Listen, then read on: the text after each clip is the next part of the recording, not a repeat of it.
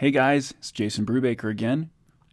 So Eric B sent me a question through comments on my last video. He said, he said, what page sizes and resolution do you use, especially when formatting to the Webtoons platform? Um, it looks a lot different than trying to make physical comic pages, and I'm having problems making panels look well when I submit art to Webtoons using resized original pages. What I'll do is I'll play this little video of me working on uh, on my Webtoons post, uh, pulling artwork into uh, a large canvas that's very tall and um, or Photoshop file, I guess. And what I do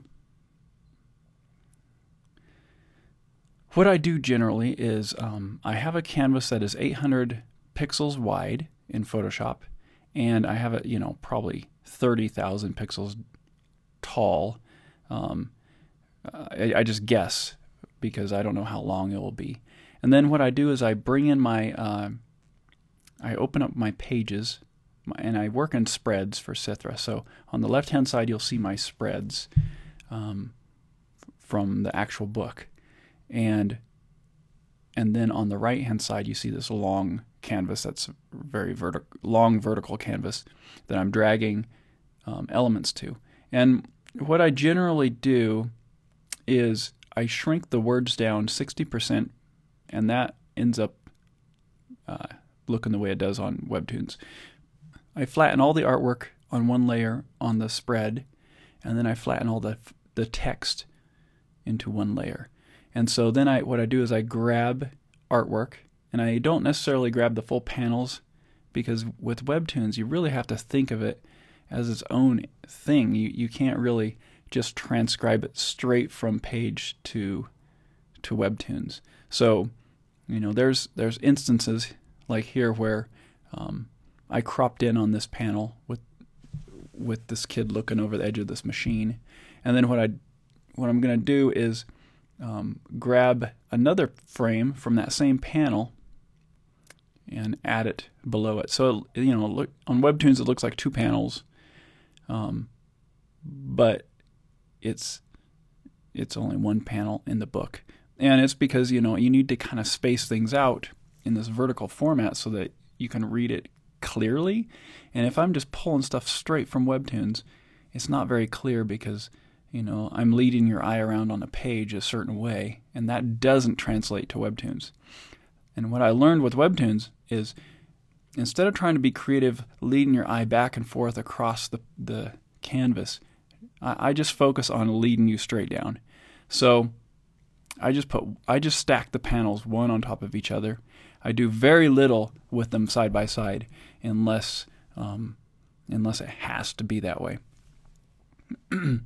And so, as you can see, I just keep pulling them over and kind of cropping in a lot so that it has a lot more vertical to it.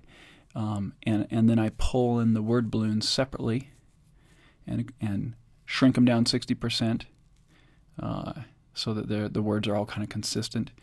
And then just, you know, paste the word balloons over top of it. And for the most part, it works good. Um, I haven't found a, an ideal, perfect solution because uh, I don't think there is one really. Um, because you know you're especially if you're creating the pages as pages and then translating it to webtoons it's it's just what it is you know you have to think about it in a different way.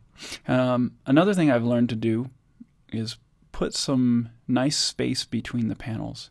So as i'm telling the story um, instead of button the panels up right next to each other, I put a little space between them, and it gives it breathing room, and it allows the the the user to be able to the user to be able to um, read it at their speed, one panel by, at a time, one panel at a time. If you cram a bunch of panels together, it doesn't it doesn't make it easy to um, to surprise the audience with things that pop up in the next panel. So, and see, for instance, right here, I'm uh, I just cropped in on a picture of the sand because the dialogue is about, you know, the machine moving on through the sand. And so I just got creative and made my made a completely unique panel because I mean this is a spread that I'm working on and that would go by super fast if I just dragged that over and shrunk it down so it fit. So I ended up making a panel with the sand, a long panel with uh, the kid Dino, and putting words in between the panels. And then what I'll do is actually pull an image from what he's looking at, and that'll be a third panel. So this spread, which was just one panel, ended up being three panels.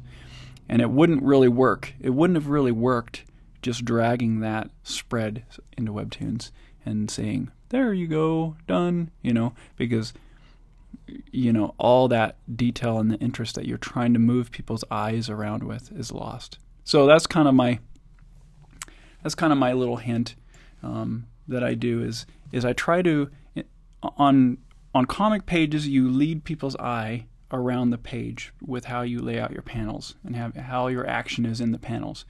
But on webtoons you're just going straight down, one panel on top of each other, and you're going down and so you're leading people with the places that you that you pull from your artwork. You know, so if you if in a panel like this you you wanted to lead people from from the sky down into the sand and then over to Dino and then back up to his point of interest. You'd start with the sky as a panel, Dino as a panel, his point of interest as a panel.